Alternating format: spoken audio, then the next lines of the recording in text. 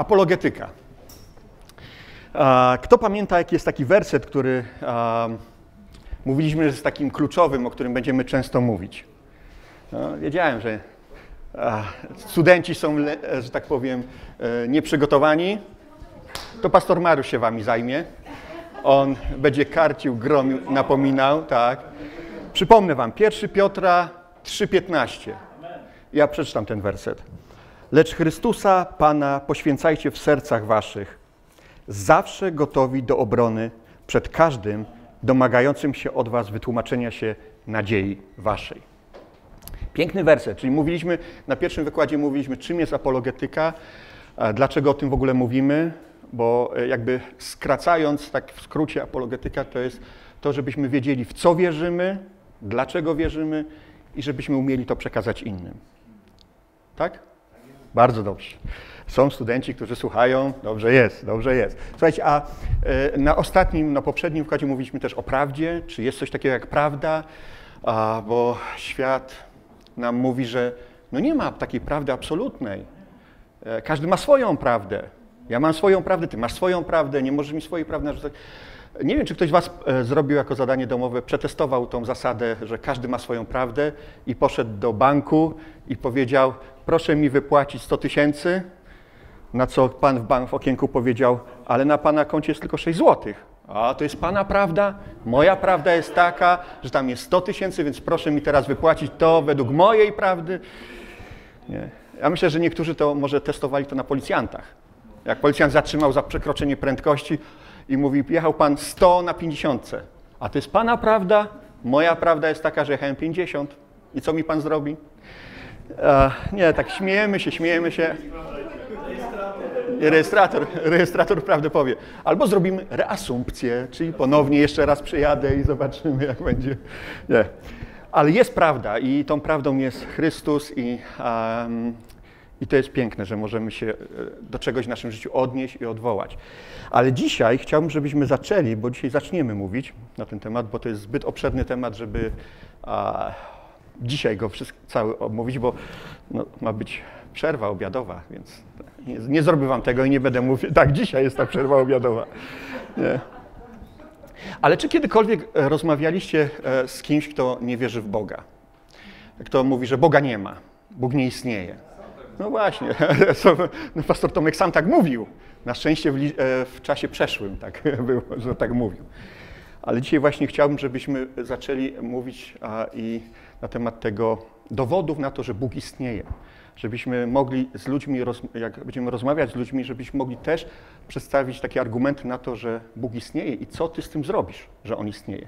Bo czasami jest tak, że a, jeżeli przedstawiasz takiemu a, komuś, kto nie wierzy w Boga, przedstawiasz argumenty i dowody na to, że Bóg jednak istnieje, że jest ktoś taki jak Bóg.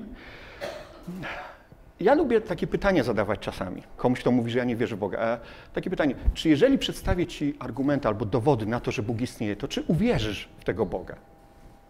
Wiecie, że czasami spotykałem się z odpowiedzią, że nie, nie uwierzę? Bo w wielu przypadkach problem nie jest w głowie, tylko w sercu. Ludzie nie chcą uwierzyć w to, że Bóg jest. Bo jeżeli uwierzyliby to, że uznaliby to, że Bóg jest, to znaczy, że musieliby kiedyś przed tym Bogiem stanąć i zdać relację ze swojego życia, z tego, co robią. Dlatego czasami jest tak, że nie ma znaczenia, ile dowodów przedstawisz komuś, bo to nic nie zmieni, jeżeli jest problem w sercu. Dlatego w tym wszystkim, i musimy o tym pamiętać, niezbędny jest Duch Święty. Dzieło Ducha Świętego, który przekonuje świat o grzechu, sprawiedliwości i sądzie, który przekonuje ludzi. I czasami może się zdarzyć też tak, że Bóg sprawi takie rzeczy w życiu pewnego człowieka, że to serce zostanie skruszone. I to serce, które nie chce uznać Boga, będzie musiało powiedzieć: Boże, potrzebuję Twojej pomocy, potrzebuję Ciebie. Ale to jest dzieło Ducha Świętego. My możemy przedstawiać te argumenty, przedstawiać e, dowody, ale bez Ducha Świętego to może być tylko kłótnia. Może się skończyć kłótniami. Ja pamiętam z moją mamą bardzo często, jak ja się nawróciłem, to za wszelką cenę chciałem ją nawrócić, w cudzysłowie, i po prostu jak tylko wracałem do, do domu z kościoła, to tylko od razu otwierałem Biblię i zobacz, a tu jest to, to, to, to, to i to. I się kończyło tylko kłótniami. Ale Duch Święty, który mi kiedyś przekonał powiedział: Zostaw, niech świadectwo Twojego życia mówi więcej niż Twoje słowa. I to zmieniło wszystko.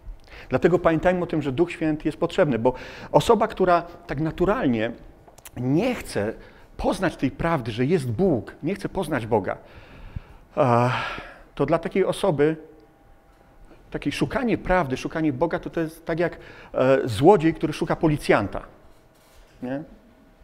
Albo ktoś, kto wycina e, e, katalizator, chciałby, żeby akurat policjant tamtędy przechodził. Nie, taka osoba najlepiej by chciała, żeby nie, nie było tego policjanta. I taki właśnie często ateista, który ma zatwardziałe serce, nie będzie chciał uznać i szukać Boga. Dlatego ja chciałbym, żebyśmy dzisiaj zaczęli tak mówić na temat tego, czy Bóg istnieje, na temat argumentów przemawiających za tym, że Bóg istnieje. Ja chciałbym skoncentrować się na trzech takich argumentach tego, że Bóg istnieje, które mogą być pomocne nam w rozmowie z ludźmi, którzy twierdzą, że Boga nie ma. A co ty mi mówisz? Jaki Bóg? Boga nie ma. Pierwszym takim argumentem to jest taki argument kosmologiczny. Tak to się nazywa fachowo. Tutaj chłop, dobra nowina, kiwa głową, bo już to przerabiali, ale skoro świat, wszechświat ma swój początek, to musi być ktoś, kto to zapoczątkował. Potem z kolei jest argument teologiczny, czyli który mówi o tym, że skoro jest stworzenie, no to musi być stwórca. No jest też jeden argument moralny, który bardzo często ludzie o nim zapominają. Ale wiecie, że ten argument mówi nam o tym, że jeśli istnieje nawet jedna rzecz, która jest moralnie niewłaściwa, jedna rzecz moralnie niewłaściwa, to znaczy, że Bóg istnieje. Dlaczego? Bo teraz, jeżeli moralnie złym jest znęcanie się nad kotkami, kto się zgadza z tym, że moralnie złe jest znęcanie się nad kotami? No niektórzy.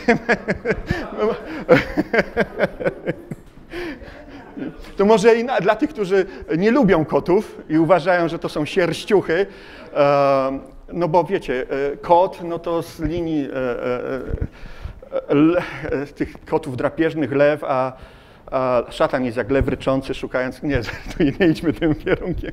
Ale jeżeli na przykład, można powiedzieć, znęcanie się nad dziećmi jest moralnie złe, albo mordowanie ludzi jest moralnie złe, albo napadanie sąsiedniego kraju jest moralnie złe, to wiecie, że jeżeli są takie rzeczy, które są moralnie złe, to znaczy, że Bóg istnieje? Bo jeżeli Bóg nie istnieje, to tak naprawdę co mamy? Tu mamy opinię jednej osoby przeciwko opinii drugiej osoby. To jest Twoja opinia, że nie powinno się znęcać nad kotkami, przeciwko opinii kogoś, kto uważa, że trzeba i można. To jest Twoja opinia przeciwko opinii Hitlera. To jest Twoja opinia przeciwko opinii Putina. To jest Twoja opinia przeciwko wielu innych opiniom. Są po prostu kwestia tylko opinii. Ale przecież wiemy, skąd wiemy, jest to w naszych sercach, w naszych głowach, że morderstwo to nie jest kwestia opinii. Znęcanie się nad kimś słabszym to nie jest kwestia opinii. Tylko jest jakiś wyższy standard, jakaś wyższa moralność, która mówi, trzeba przestrzegać tego i nie wolno pewnych rzeczy robić. I jeżeli jest ten wyższy standard, to odstępstwo od tego standardu nazywamy złem. Czyli innymi słowy, jeżeli Bóg istnieje, to jest pojęcie dobra i zła. Bo jeżeli Boga by nie było, to nie byłoby ani dobra, ani zła. Bo jest tylko opinia, kwestia opinii jednej osoby przeciwko drugiej opinii. Więc dlatego, ale o tym też będziemy szerzej mówić, czy jest ten argument moralny na to, że Bóg istnieje. Ale dzisiaj chciałbym, żebyśmy zaczęli od tego pierwszego, czyli tego argumentu kosmologicznego. Bo powiem Wam, że jak studiowałem ten temat po prostu i czytałem różnych naukowców, którzy się wypowiadają na ten temat, to po prostu dla mnie to było wow, jak ci ludzie nie widzą tego, co jest tak oczywiste, że Bóg istnieje, że Bóg jest jedynym wytłumaczeniem tego wszystkiego. Wiecie, kiedyś ludzie myśleli o tym, że wszechświat nie miał początku i po prostu istniał od zawsze. Po prostu był. Tylko, że kolejni naukowcy zaczęli, o, zaczęli obalać takie myślenie, że wszechświat istnieje od, od, od wieczności, że po prostu nie miał początku, po prostu istniał. Co ciekawe, wielu z tych naukowców, którzy obalają ten, to twierdzenie, że wszechświat nie miał początku, to są ludzie, którzy zgadzają się z biblijnym opisem stworzenia, ale w swoich sercach nie uznają tego, że jest Bóg, który jest Stwórcą. Dlatego, żeby nie uznawać tego, że jest ktoś, kto stworzył, kto dał początek temu światu, zaczynają wymyślać różne rzeczy. No i wielki wybuch był. Wielki wybuch, który dał początek temu wszystkiemu. Zaraz powiesz, pastorze, ale chyba ty nie będziesz mówił o wielkim wybuchu, przecież my nie wierzymy w wielki wybuch. Powiem wam, naukowcy mówią wielki wybuch, a ja mówię, wiem, kto dał początek temu wszystkiemu. Ja wiem, kto za tym wszystkim stoi, że dzisiaj jesteśmy tu, gdzie jesteśmy, że jest Stwórca, że to nie powstało samo z siebie, tak po prostu coś się wydarzyło, coś wybuchło, ale jest Bóg, który nadał temu wszystkiemu początek. I to nas odróżnia od tego, że o, też od ateistów, że oni nie wiedzą, co tak naprawdę się stało, jak to się stało, w jaki sposób to mogło powstać, ale my wiemy, kto dał temu wszystkiemu początek. Wiecie, że Richard e, Dawkins, Dawkins, nie wiem jak się jego nazwisko wymawia, on powiedział taką ciekawą rzecz. E, też jakby przeciwstawiając się temu twierdzeniu, że wszechświat istnieje od nieskończoności, że on zawsze istniał. On powiedział, że praktycznie wszyscy wierzą, że wszechświat miał swój początek w wielkim wybuchu. Czyli musiał być początek. Było coś, co zapoczątkowało to wszystko, co widzimy dzisiaj. No i oczywiście e, naukowcy próbują znaleźć jakieś e, argumenty, jakieś wytłumaczenie, jak doszło do tego wybuchu, próbują szukać jakichś rozwiązań, wytłumaczeń, próbują, próbują, próbują. Wszystko by tylko nie uznać Stwórcy, że jest ktoś, kto dał temu początek, kto wypowiedział słowo i stało się. Oni e, twierdzą, że oczywiście materia, przestrzeń i czas miały swój początek, bo nie mogą istnieć od nieskończoności. Tylko pytanie, skąd to wszystko się wzięło? I tak naprawdę e, wielu naukowców, i, to też chciałem, żebyśmy sobie powiedzieli, mówią o tym, że świat miał jakiś początek. To nie jest tak, że to istniało od nieskończoności, ale miał swój początek. I tylko kilka takich twierdzeń które e, potwierdzają to, że świat miał początek. Pytanie jest tylko, jaki to był początek? Jedną z tych rzeczy to jest druga zasada termodynamiki, która jasno nam mówi, że ilość energii osiągalnej do wykonania jakiejś pracy stale się zmniejsza. I tak naprawdę e, wszystko zmierza w kierunku mniejszego uporządkowania, coraz większego chaosu. Co za tym idzie? Wszechświat traci swoją energię. I to jest ciekawe.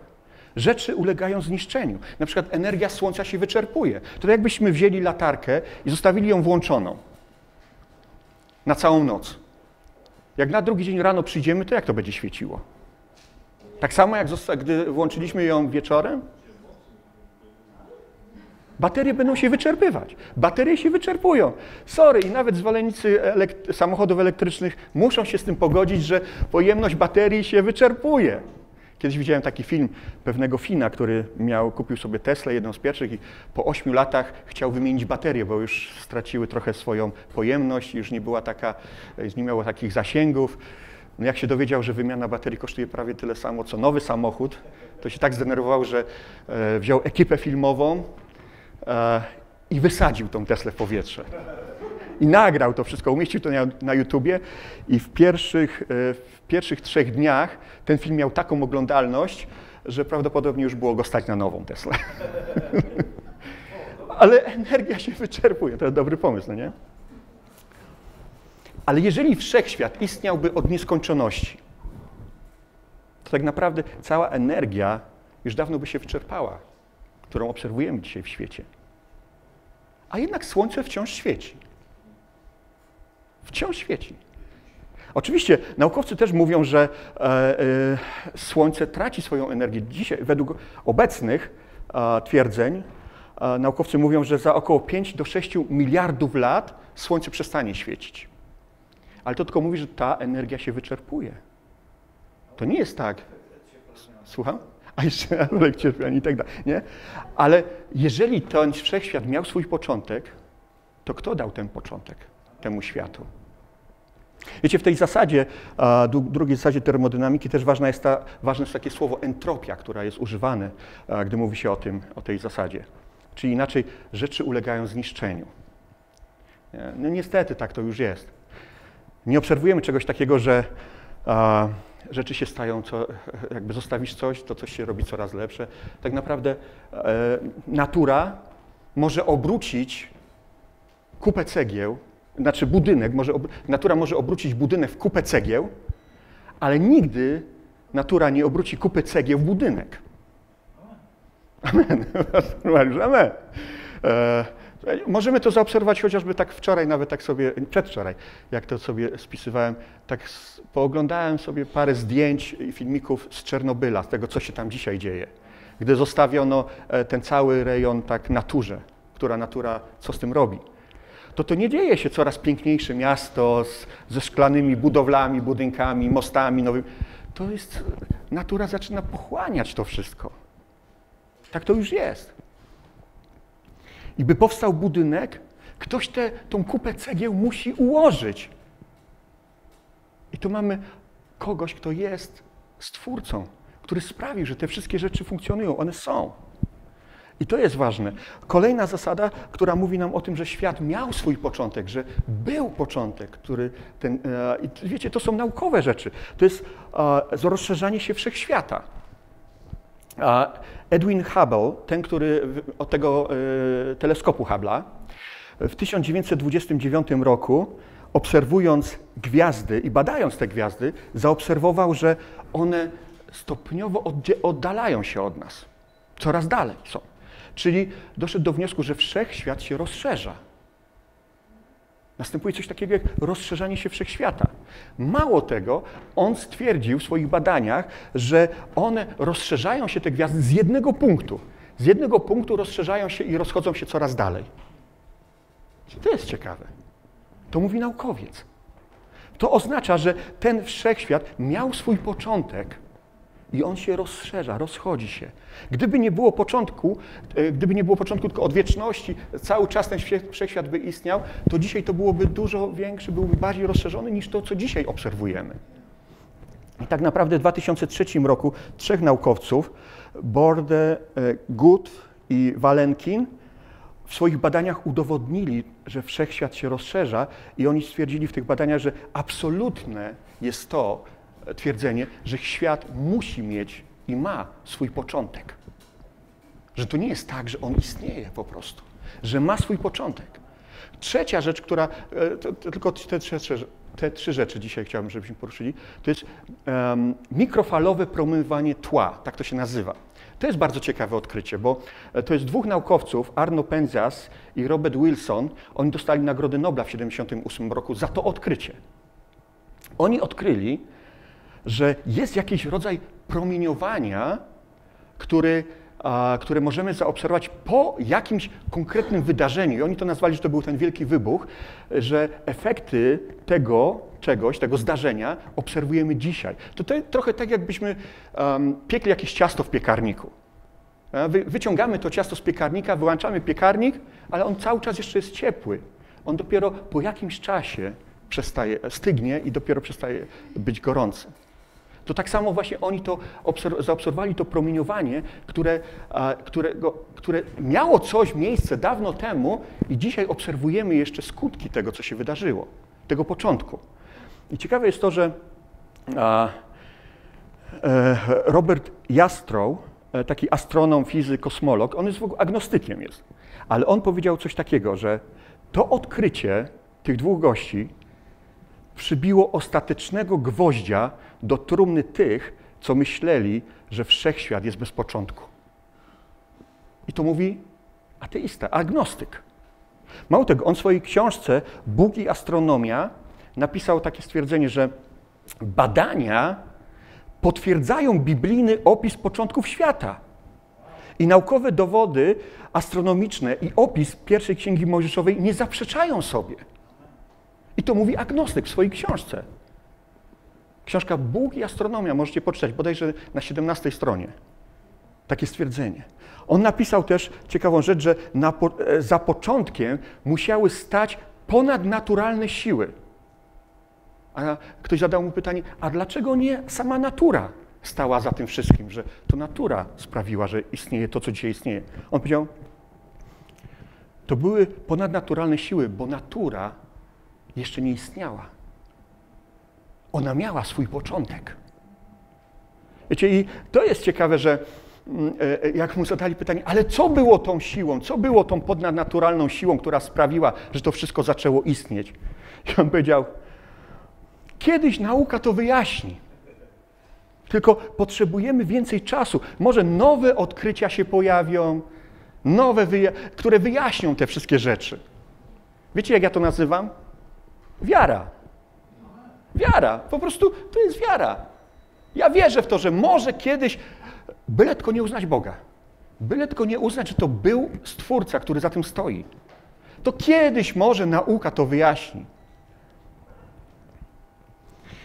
Tak naprawdę naukowcy kupują sobie czas po to, żeby próbować wyjaśnić coś, czego się nie da wyjaśnić. Bo zobaczcie, to tak jak ja bym powiedział, ja potrzebuję więcej czasu do tego, abym doszedł do tego, abym ja sam mógł począć swoją własną matkę. Albo, żeby, żebyś ty mogła urodzić swoją własną matkę. Widzicie? To jest niemożliwe, to jest jakiś absurd. Dlaczego tak mówię? Bo natura nie mogła sama siebie stworzyć. No przecież to jest absurd. To, to jest właśnie takie myślenie, tak jak ja mógłbym począć swoją własną matkę. Skoro a, świat nie mógł stworzyć sam siebie, ta cała natura nie mogła stworzyć sama siebie, dlaczego? Bo przecież musiałaby istnieć, zanim się stworzyła. A przecież jej nie było. Wiecie, jak im bardziej, im głębiej wchodzimy w takie rzeczy i zaczynamy rozważać to i myśleć, tak brać to wszystko nawet na taki chłopski rozum, za chwilę myślimy, jejku, ale to nie pasuje. Wiecie, to jest ciekawe, że um, tak samo czas, przestrzeń, materia, one musiały mieć swój początek. Nie mogły same sobie dać początku. I powiem Wam, to nie moc albo wybuch dało początek temu wszystkiemu. Dlaczego? Bo moc to jest po prostu moc. Moc nie ma możliwości do tego, żeby e, kreować coś, żeby decydować o czymś. Moc po prostu jest. I ona wykonuje swoją pracę. Ona nie decyduje, że o, nagle teraz stworzymy świat, będzie, o, zrobimy, będzie fajnie. Nie? Bo to tak samo jakby grawitacja mogła decydować i mówi, o, ja będę przyciągać wszystkich, ale co setna osoba będzie wolna od grawitacji, będzie sobie latać. Nie, nie ona nie decyduje, ona po prostu jest. I moc po prostu jest. To nie ona decyduje. Dlatego, jeżeli myślisz o czymś, co jest poza czasem, poza przestrzenią, poza materią, coś tak potężnego, że wykracza poza te wszystkie ograniczenia, to o czym myślisz? Ja myślę o Bogu. Że jest ktoś, kto dał temu wszystkiemu początek. Samo z siebie nie powstało. Oczywiście inna sprawa jest, gdy rozważamy i rozmawiamy z ludźmi, którzy mówią, że nie ma Boga, kim jest ten Bóg? Jaki jest ten Bóg? O tym też będziemy mówić, ale to na kolejnych wykładach. Ale dlaczego, e, dlaczego o tym wszystkim mówię? Bo wiecie, czasami te odkrycia naukowe, którzy, o, których do, e, do, do, do których oni dochodzą, otwierają im oczy, ale jak trudno jest im uznać to, że jest Bóg. I ci dwaj naukowcy, ten Arnio Penzas i Robert Wilson, którzy dostali Nobla za to odkrycie mikrofalowego promieniowania tła, oni powiedzieli, i tu cytaty, ten Penzas powiedział, najlepsze wytłumaczenie początków, jakie mamy, to pięcioksiąg i Biblia jako całość. Wilson z kolei powiedział, z pewnością było coś, co dało początek temu wszystkiemu ale nie, nie mogę wymyślić nic lepszego niż to, co znajduję w księdze Genezis. To mówią ci ludzie. Nobliści, którzy sami odkryli coś, co powiedziało, świat miał swój początek. To odkrycie, o którym e, Jastrow powiedział, że to przybiło ostatecznego gwoździa do trumny tych, którzy myśleli, że świat nie miał początku, że istnieje od zawsze. Ci ludzie mówią, Najlepsze wytłumaczenie. My dzisiaj tego nie potrafimy wytłumaczyć. Potrzebujemy czasu, ale najlepsze wytłumaczenie, jakie dzisiaj mamy, to jest to, co opisuje Biblia. Ale Czy uznasz to w swoim sercu? Że jest Bóg, który tego dokonał? No nie, nie, potrzebuje czasu i nauka wtedy może coś odkryje kolejnego i wtedy. Wiecie, skoro e, już nawet naukowcy twierdzą, i to możemy e, używać e, w rozmowach z tymi, którzy twierdzą, że Boga nie ma. Skoro nauka twierdzi, że świat miał swój początek, miał swój początek, to mamy dwie opcje tylko. Albo nikt, nic sprawiło, że to wszystko powstało, albo ktoś sprawił, że to wszystko powstało. Które z tych dwóch jest bardziej prawdopodobne? Ja myślę, że mniej wiary potrzeba do tego, żeby uwierzyć w to, że jest ktoś, kto to wszystko uczynił. A że nie, nie, że powstało to samo z siebie. Bo wiecie, jeżeli każda rzecz ma swój początek, a nie pojawia się od tak po prostu, samo z siebie się pojawiło. Nie? Tak jak niektórzy twierdzą, no, o, nagle wielki wybuch był, nie wiadomo, co tam wybuchło, jak to wybuchło, ale coś tam był, wielki, powstało. Jeżeli nic nie powstaje samo z siebie, to ktoś to musiał stworzyć. Wiecie, e, dlaczego ja twierdzę, że nic nie powstaje samo z siebie? Czy któryś z Was, siedząc tutaj, w tym pięknym mieście, na wykładach szkoły biblijnej, myśli w swojej głowie i martwi się o to, czy przypadkiem u niego w domu nie pojawił się nagle ni stąd, ni zową słoń w jego gościnnym pokoju i nagle ku przerażeniu e, myślisz, a może on teraz właśnie w tym momencie robi kupę na mojej kanapie.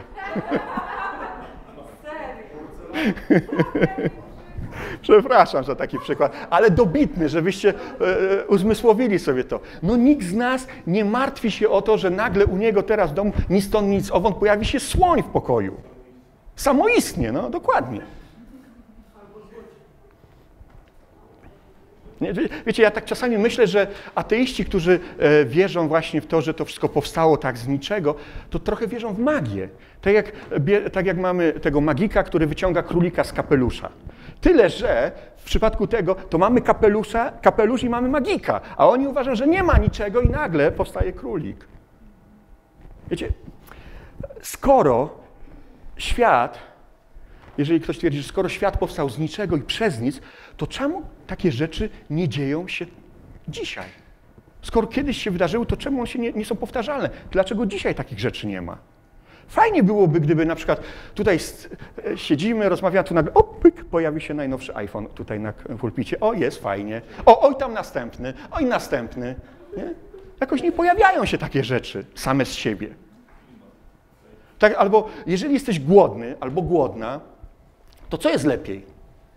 Zadzwonić po pizzę, którą ktoś zrobił, czy siedzieć i czekać? Hmm, za chwileczkę może się tutaj pojawi taka cieplutka, pachnąca pizza, nie? tak sama z siebie. Co lepiej zrobić? No oczywiście, że zadzwonić. Nikt z nas nie oczekuje tego, że rzeczy same z siebie powstają tak do, do, do, z niczego. Ale często ateiści tak wierzą i ja myślę, że to o, e, ateiści, ci, którzy odrzucają Boga, mają dużo większą wiarę w rzeczy, o które, e, które, e, które, które wyznają, niż to, że my uznajemy, że jest Bóg. Nie? Ale ktoś może powiedzieć, i z takimi też się spotkałem twierdzeniem, no ale to w takim razie kto stworzył Boga? No nikt. Bo On jest ponad czasem, On nie ma początku. To jest ciekawe, na Niego nie wpływa ani czas, ani przestrzeń, ani materia. Bo gdyby tak było, że te rzeczy by na Niego wpływały, to nie byłby Bogiem. Czas, przestrzeń i materia one wszystkie muszą istnieć jednocześnie. To nie jest tak, że to jedno powstało, potem drugie, potem trzecie, bo gdyby nie było czasu, to kiedy umiejscowisz przestrzeń i materię? Gdyby nie było przestrzeni, to gdzie umiejscowisz czas i, i, i, i przestrzeń? Wiecie, to jest, e, e to, to jest coś, co musimy zrozumieć. Pierwsza Mojżeszowa, jeden jeden mówi, na początku Bóg stworzył niebo i ziemię. I mamy tutaj, na początku mamy czas, stworzył niebo, czyli przestrzeń i ziemię, czyli materię. To Bóg sprawił, że te rzeczy są. To On jest ponad tym wszystkim i On sprawi, że mamy czas, przestrzeń i materię, w których dzisiaj funkcjonujemy, żyjemy. Jeżeli ten, który stworzył ten wszechświat, jest poza tym wszystkim, to znaczy, że to nie jest tak, że on jest ograniczony przez te rzeczy. Bo myślenie, że o, no to Bóg musiał być stworzony, Bóg jakoś musiał powstać, no to to jest tak jakby stwierdzenie, że jakbyśmy powiedzieli, że masz nowego iPhone'a i, i w tym iPhone'ie w środku siedzi twórca tego iPhone'a i wykonuje wszystkie polecenia, które tutaj mu e, ten robi. Nie, Bóg nie jest ograniczony przez czas, przestrzeń i materię. On jest ponad tym wszystkim. A tak naprawdę, gdyby Bóg był ograniczony przez którąś z tych rzeczy, to nie byłby Bogiem, tylko byłby jakiegoś rodzaju jakimś bożkiem, bo był ograniczony przez te wszystkie rzeczy. Wiecie, ja myślę, że to jest ciekawe, że ateiści bardzo często przez wiele, wiele lat nie mieli problemu z tym, żeby wierzyć w to, że świat jest wieczny, że nie miał początku. Ale jakoś, gdy myślą o Bogu, wiecznym Bogu, który istniał i od zawsze i nie ma swojego początku, z tym mają problem. Dlaczego? Bo to problem nie jest e, w głowie, tylko w sercu. W sercu.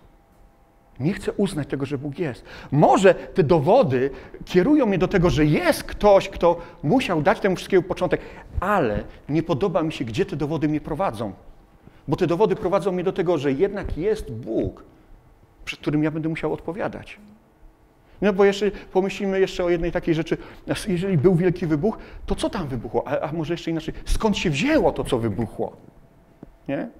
Po prostu takie pytania, na które nie, nauka nam nie daje odpowiedzi.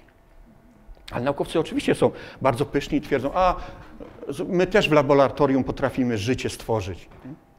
I, i, I, kiedyś taką anegdotę słyszałem, że naukowiec się kłócił z Bogiem i mówi, zobacz, ja też stworzę życie w laboratorium. No i bierze ten proch ziemi, zaczyna coś tam lepić, a Bóg mówi, hola, hola, poczekaj, weź swoje materiały, nie używaj moich. Nie?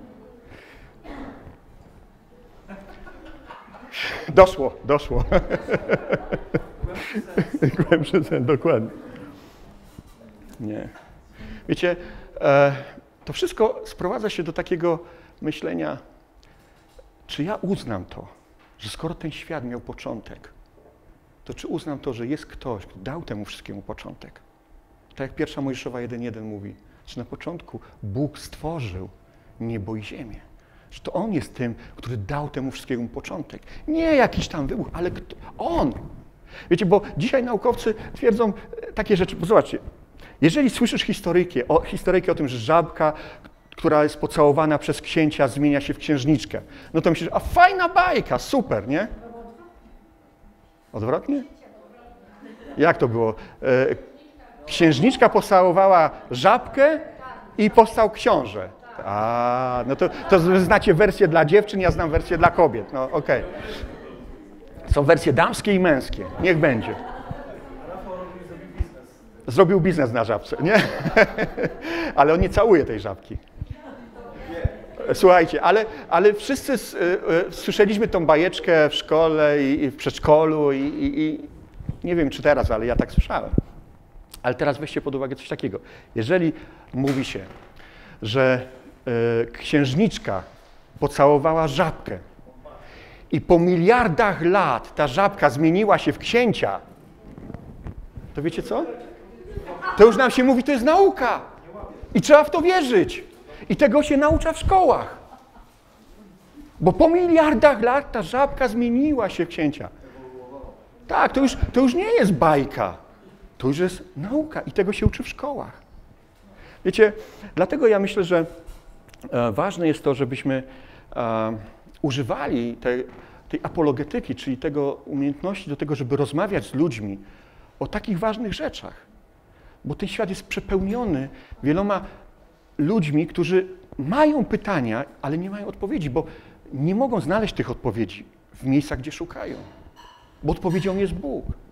I dlatego ważne jest to, żebyśmy, ja mam taką nadzieję, że te wykłady służą, będą służyć, bo przynajmniej to służy, do tego, żeby uczyć się tego i wiedzieć, w co wierzę, dlaczego wierzę i umieć powiedzieć to innym. Bo Bóg istnieje. I chociażby ten dowód kosmologiczny na to, że to wszystko, co widzimy, co obserwujemy, ma swój początek i za tym początkiem stoi konkretna osoba, a nie jakaś tam niczym nieokreślona moc, to jest coś, co daje mi nadzieję na moją całą wieczność, że ten, który stworzył to wszystko, dzisiaj, tak jak Jezus powiedział w Jana 14, e, od 1 do 3, że niech ci nie trwoży serce wasze. Wierzcie w Boga i we mnie wierzcie. Idę przygotować wam miejsce, aby was zabrać tam, gdzie ja jestem, abyście wy też byli. Ten, który stworzył ten świat w sześć dni. I dzisiaj podziwiamy piękno tego świata, tego stworzenia. Byliśmy z pastorem Tomkiem ostatnio e, w Kirgistanie i wyjechaliśmy na, na te góry, czterotysięczniki i po prostu, to prawda, byliśmy wyżej niż rysy, a Tomek to już w ogóle wypuścił się do przodu, żeby jeszcze dobić to, że na pewno jest powyżej rys. Ale wiecie, jak cudowne, piękne to były góry? Ja po prostu chodziłem, patrzyłem w zachwycie na to wszystko i nie mogłem wierzyć, jak tam jest pięknie. Ale jak pomyślę o tym, że Bogu zajęło to sześć dni, żeby to stworzyć, a dwa tysiące lat przygotowuje dla nas miejsce. Coż za cudowne to będzie miejsce, gdzie na wieki będziemy z tym, który nas tak kocha, że po prostu już tyle lat przygotowuje i za chwileczkę przyjdzie po nas i zabierze nas do siebie. Wow! Jakieś to jest nieprawdopodobne. Nieprawdopodobne dla naszego umysłu, ale prawdopodobne dla naszej wiary. Niech ci będzie. Nie? Bóg. Doszło. Nie. Słuchajcie, jak piękne jest to, że mamy tą wiarę, mamy, wierzymy i, i, i możemy oprzeć swoją wiarę na czymś, co jest pewne i prawdziwe. I coś, co świat y, potwierdza, ale nie chce uznać tego i szuka odpowiedzi, mówi dajcie mi czasu, dajcie mi czasu, ja wtedy wymyślę. Pamiętam kiedyś taką debatę oglądałem e, e, takiego naukowca a, z tym e, e, Ken Ham, który prowadzi takie stowarzyszenie e, Answer in Genesis. Ten, który tą arkę też tam wybudował. E, nie, nie, Ken Ham. E, tak. I on e, prowadził kiedyś taką e, debatę i z takim znanym naukowcem, nie pamiętam jak się nazywa, ale on prowadzi jakiś program telewizyjny, nawet chyba na Netflixie ma swój program. I ten naukowiec, e, na, gdy zadawał mu Ken e, wiele różnych pytań, na które on nie znał odpowiedzi, nie potrafił odpowiedzieć, na które Ken mówi, ale zobacz, to wszystko jest jakby nauka, e, natura, to wszystko nam potwierdza, że to, co Biblia mówi, jest prawdą. On mówi, nie, nie, nie, daj czas, dajmy czas kolejnym pokoleniom, żeby one też mogły coś odkrywać. My dzisiaj odkrywamy inaczej. Kiedyś mówiliśmy, nauka mówiła, kiedyś słońce, e, to nie wiem, to się pali węgiel czy coś tam i się wyczerpuje. Dzisiaj mówią, nauka, że znowu coś innego, tam się e, reakcje zachodzą i tak dalej, i tak dalej. Naukowcy kolejni kolejne rzeczy, będą obalać tych poprzednich, będą mówić jeszcze inne rzeczy. Ale my tutaj mamy coś, co jest pewne i prawdziwe, co jest prawdą. I coś, co się wypełnia na naszych oczach. Dzisiaj otwierając, e, e, włączając telewizor, telewizor, czy e, ja już zapomniałem, co się reakcja robi, czy się włącza, czy włącza, bo ja już dawno tego nie robiłem. nie oglądam telewizji, ale, ale widzimy tak wiele różnych rzeczy, które się dzieją. I ludzie łapią się za głowę, jejku, co to się dzieje, co to się dzieje. Ale my otwierając Biblię, widzimy, co się dzieje i wiemy, dlaczego tak się dzieje. Bo wypełnia się to, co tu jest zapisane. Bo Bóg nam powiedział już to wszystko. Mamy coś, co jest pewne i prawdziwe. Jeżeli Biblia nam mówi, że na początku Bóg stworzył niebo i ziemię, On za tym wszystkim stoi. Bo On jest tym, który jest dawcą życia, sprawcą tego wszystkiego. I możemy się tego uchwycić i możemy tym żyć. I na kolejnym wykładzie, to już w Warszawie, już zapraszam teraz na kolejny wykład, który będzie w grudniu. Będziemy mówić o kolejnych e, dwóch e, e, dowodach na istnienie Boga, a zapewniam Was, są bardzo ciekawe. Ja byłem bardzo błogosławiony, gdy je studiowałem. Także dziękuję i do zobaczenia.